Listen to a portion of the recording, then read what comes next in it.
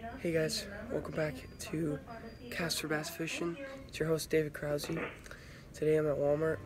Got some cash burning a hole in my pocket. I'm gonna pick out some lures for uh, you guys to see, and uh, maybe you guys could swing by your local Walmart and uh, pick up these lures too. So yeah, see you there. Okay guys, I'm back. Got the stuff I want to get. Um, yeah, I'm just gonna show you guys quick before I go and check out.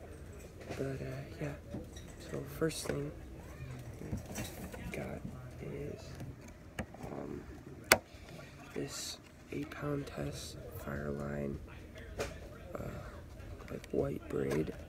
Got that because like I fish like kind of clear water during the summer, so I want something that's not like super noticeable. And since this is like semi-clear, um, I thought like, eh, that should be fine. So yeah, so that's the first thing I'm getting is this fire Fireline. Second thing, I just saw this chartreuse cotton cordell lipless crankbait, and uh, I kind of thought like it's kind of cool. So in a little cheap like clearance box, you know, like the Yum box. It was in that, but for cotton cordell. So there's that.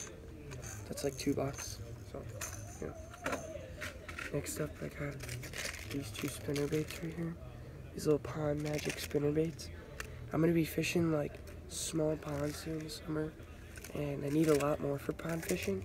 So I got these two because I know there's like craws in this one pond, and this one's got like orange on it. So I was like, okay, I'll get that. And then all the ponds I fish are dark and muddy, so I got a darker bait. It's like a purple black, like kind of like a, I don't know, it's just like a purple and black, and then it's got some blue speck, speck in there. So that's the spinner baits. Next I got a bunch of packages of soft plastics. Um, first up is the Yum Christie Craw in the green pumpkin or the California 420 color. So that's that. We've gotten these before, me and Levi from Schaefer Outdoors. Use these all the time and pretty good baits, pretty solid. Uh, next up, I got this black and blue Senkos.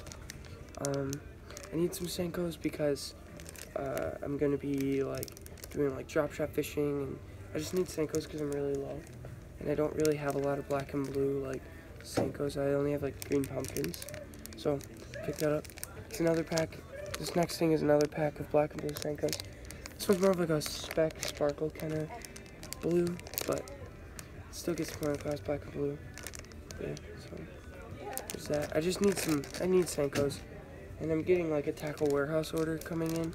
I ordered a bunch of like stuff and I think I got some Senkos. I don't really remember, but I'll unbox that for you guys later. But yeah, the last thing I'm getting is this these Yum swim baits. So I love swim bait fishing, especially like soft plastic paddle tails. And uh, yeah, I usually just use the Rage swimmers, but I have a bunch of those, so I don't need any more. So I thought I'd try something new. Go with this. And uh, yeah, so each one of these is about two dollars. Oh, geez, sorry for the bush guy. So two, four, six, eight dollars. This is eight dollars, so sixteen dollars. Uh, eighteen dollars. So the crankbait, the line, and the soft plastics are eighteen dollars. The two spinner baits are three dollars. So six dollars plus eighteen is twenty-four dollars. So it's just like a little twenty-four dollar Walmart haul. But I mean, at least it's something, you know, stocking up for the season coming up. So I'll see you guys at home. I'll unbox these baits and kind of give you guys a better rundown. So yeah, see you there. David Krause here with Caster Bass Fishing, and uh, we're back at the house and we're gonna unbox these lures real quick. So yeah, let's uh, thought we'd start off with these Yum baits I got out of the clearance bin. So start off with this swim bait right here. Let's crack this puppy open. So this bait is I picked it out because I am in need of some swim baits. I mean, I have swim baits, but I want different colors. I have mainly, mainly just like pearl white ones. So I got this little green pumpkin yum paddle tail one, and uh, I like this one because it's got like a fat body, but also it has those little gills on the side there, and those gills can really help it like guide through the water, and uh, yeah. So this bait I would use mainly like during the summer in like dirtier water when it's kind of like got like no clouds in the sky, not a lot of wind. Um, this is the bait I would use. I would put this on like a swim bait hook and uh, just like throw it along the bank and hope uh, hope a bass comes up and strikes that. So that's how I would use that.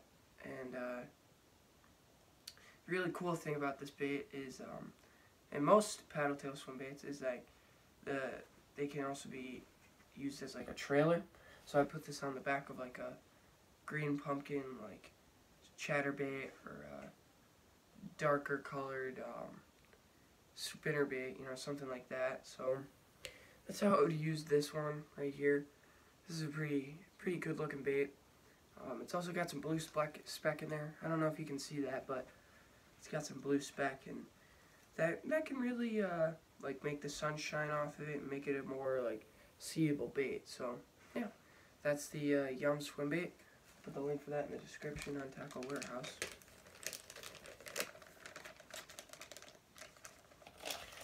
Move on to the next bait.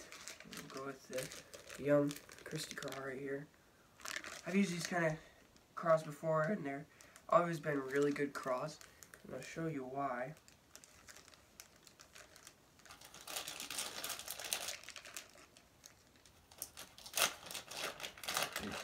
Show you why. And they're really heavily scented. Like that garlic color. That's a garlic uh, scent. That's a real good scent. But yeah, so the reason I like these craws so much is because of these guys right here. They're they're uh, their claws. They got like this weird hook-looking thing with like a thick flap of plastic, and that gives them such good action in the water.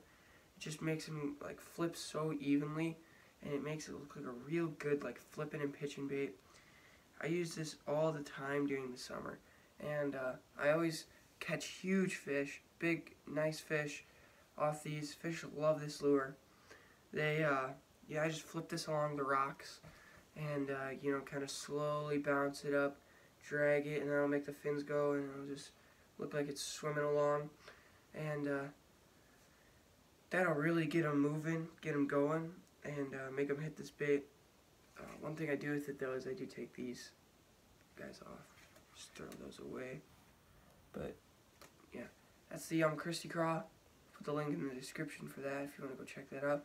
This is in the green pumpkin color. Another really solid color for some dark water. Um, yeah, dark water with like no clouds in the sky. A nice clear day. That's what I would be throwing um, yeah, so do that. And uh, the you can also put that on the back of a jig, but I would just cut off the back of it and then just use the front. Uh, here, I'll show you real quick. Cut off the back of it and like leave that abdomen right here just to like hook onto the jig. And uh, yeah, that's also a really good jig trailer because the fins kick so evenly. So that's a real solid lure. I would really recommend that for you guys who are trying to save a couple bucks but also catch a lot of fish. So, yeah. Next we have these two Senkos. Um, I think I'll open both of them, yeah. So, this is the black and blue with the blue speck uh, Senko. This one's a little bit longer. I think this one is the uh, like five inch one, I think. Uh, I'm not quite sure, but I think it's five inches. Um, correct me if I'm wrong, but yeah, that's a pretty big worm right there. Yeah, that I would Texas rig.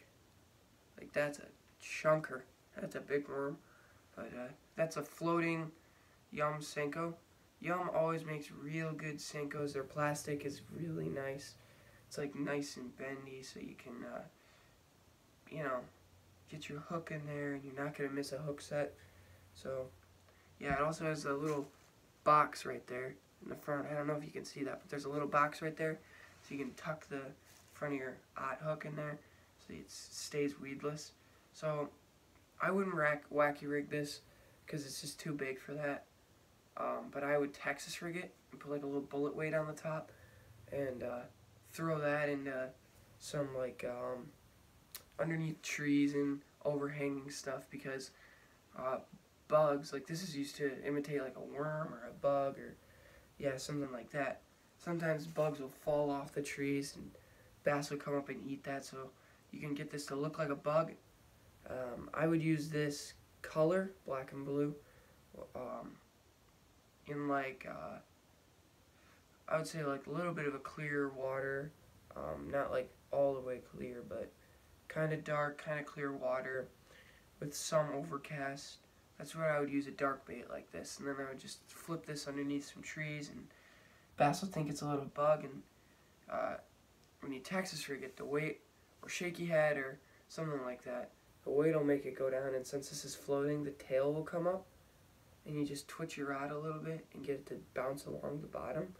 Make it seem like a worm that fell into the water and it's trying to swim up.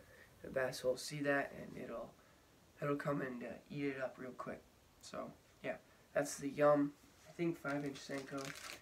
Uh, let's keep her moving to the next bait.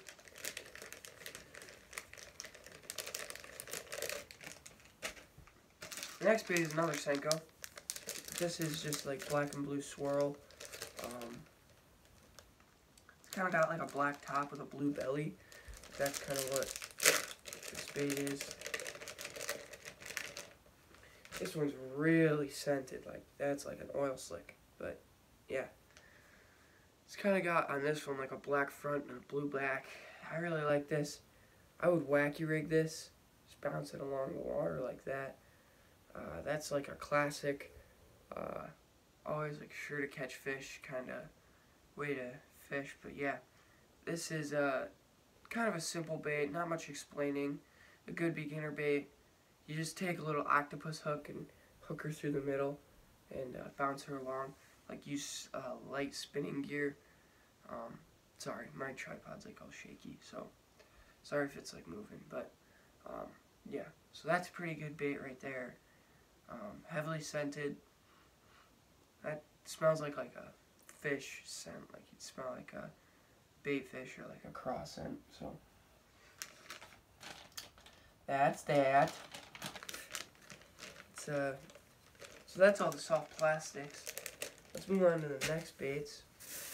In the best bag in the world, the Walmart bag. Uh, we'll do the two Booyah spinner baits that I got. Um, so this color is called Firebug. It kind of looks like a craw, but it's got some chartreuse on there, which um, makes it look uh, real nice and uh, kind of gives it some attention in the water. And uh, also it's got some orange on there, so it can kind of imitate like a crawfish. If uh, like you're fishing like a pond that you know has crawfish, I would use this for sure. And like a kind of overcast day, um, sun's out though, but it's kind of overcast. Uh, not really that hot out, but yeah, I would use that bait. Just throw it along the bank or throw it deep. You can really use spinner baits in a lot of places. Um, yeah, that's how I would use that. That's the Booyah Pond Magic 3 16th ounce. Um, it's called the Firebug little spinner bait. This next one is another spinner.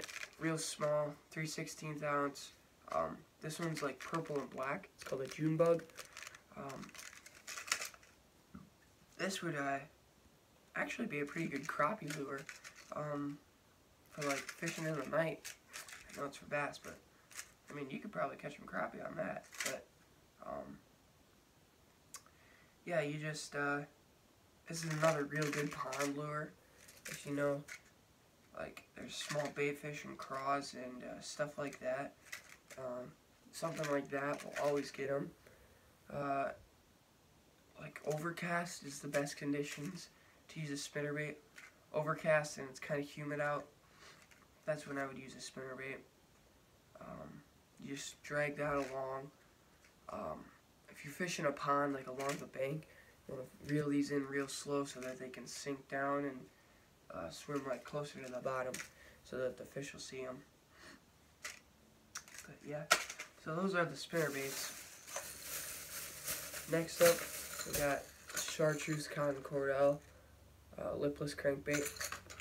This is great for uh, uh, like search fishing, like you're new to a spot, get something like this, like a bright crankbait, can be a square bill, lipless. Just don't make it like a ridiculous, like deep diving crankbait, but yeah, something like that, like little chartreuse color.